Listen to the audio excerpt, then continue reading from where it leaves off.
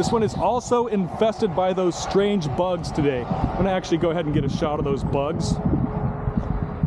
Uh, Because it's red, you almost can't tell it's as infested as the other ones are.